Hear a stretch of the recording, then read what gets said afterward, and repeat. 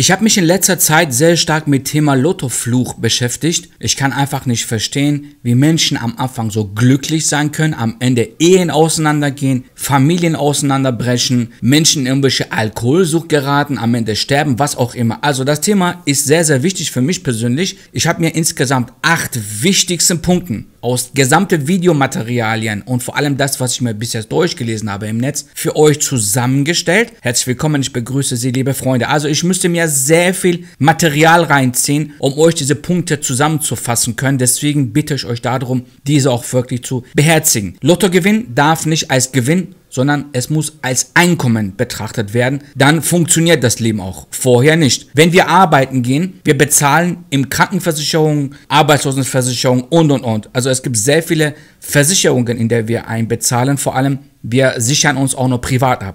Das bedeutet, absichern ist A und O, wenn es um Lottogewinn geht. Aber viele Menschen sichern sich vorher gar nicht ab. Sie spielen einfach nach dem Motto, ja, ich werde irgendwann mal gewinnen, wir schauen dann mal weiter. Nein, man muss sein Lottogewinn vorher wie im Berufsleben absichern. Wie kann man sich jetzt absichern? Punkt Nummer eins: Tippgemeinschaften bilden. Warum überhaupt Tippgemeinschaften bilden? Mir persönlich geht es darum, das schlechte Gewissen loszuwerden und nicht immer allen gegenüber nach dem Gewinn Rede und Antwort stehen zu müssen. Ich als Lottospieler gründe eine Tippgemeinschaft, Familienmitglieder oder Freunde können gerne daran teilhaben. Wer mitmacht, kann gerne ein Stück vom Kuchen abhaben, wer nicht mitmacht, hat Pech gehabt und darf nicht später schmarotzen kommen und sagen, gib mir Geld. Nein, du hattest vorher die Möglichkeit gehabt, mit zu investieren.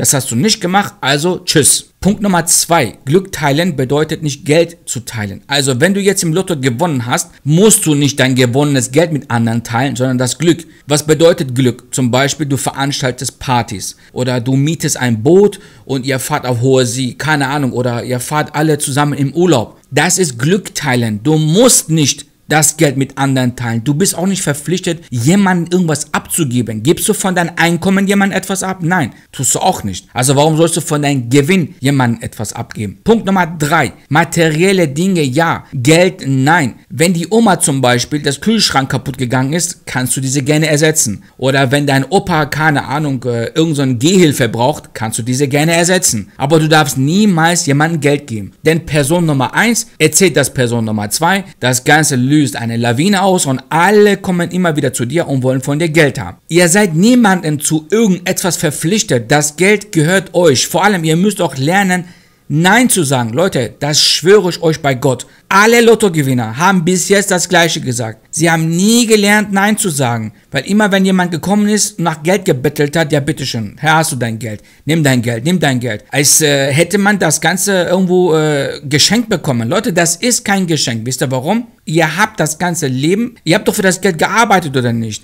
Die gearbeitete Gelder habt ihr dann in Lotto investiert. So, und wer investiert, verschenkt das Geld nicht. Das ist sehr, sehr wichtig. Und zwar, man darf das gewonnene Geld niemals in irgendwas investieren. Das bedeutet, viele Lottogewinner die ihre Vermögen in irgendwelche Aktien. Leute, ich habe heute ein Thema gelesen, die Frau hat in Pferdewetten ihr Geld investiert, ja. Man darf das Geld nie investieren. Ich weiß, das klingt blöd, wenn man vielleicht eine passive Quelle findet, ja, wie ein Zigarettenautomat, ja. Da kann man gerne Geld investieren. Aber jeder, der investiert hat, hat bis jetzt alles verloren.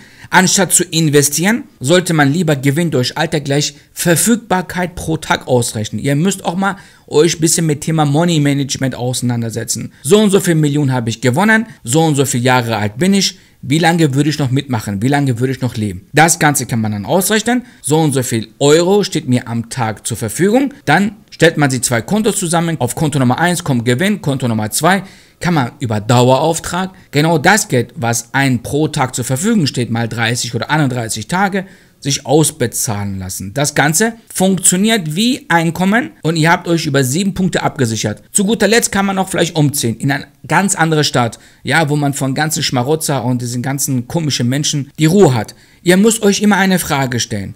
Ich soll mein Glück mit anderen teilen. Gut, als ich schlechte Zeit im Leben hatte, als es mir nicht gut ging, ja, waren die Leute für mich genauso da? Haben die mir zugehört? Waren die für mich da? Nein, haben sie nicht. Viele waren gar nicht da. Sie kommen nur schmarotzen, weil du was gewonnen hast. Du bist auf einmal wichtig, weil du etwas Materielles gewonnen hast. Du bist doch nicht als Mensch wichtig. Denn sie wären doch sonst vorher auch für dich da, oder nicht? Also man muss auch mal das Ganze ein bisschen logisch betrachten. Bisschen, bisschen egoistisch sein. Also gesundes Egoismus tut auf jeden Fall einen gut. Und damit hat man sich über mindestens acht Punkte Punkte abgesichert. Also, ich habe euch bis jetzt das Allerwichtigste, was ich zumindest selbst gelernt habe, zusammengefasst. Wenn ihr nochmal das Geld aus dem Fenster schmeißt, ja, oder irgendein Blödsinn damit anstellt, das Unglück dann auf Lottofluch projiziert, seid ihr selber schuld. Es gibt kein Lottofluch. Man muss einfach lernen, mit seinem Geld umzugehen. Wenn man diese als Einkommen sieht, da kann nichts schief gehen. Alles Gute, ich hoffe, ich konnte euch erreichen. Bleibt knallhart, bleibt egoistisch. Das Geld gehört euch. Ihr habt investiert, jetzt könnt ihr davon profitieren. Alles Gute und bis bald.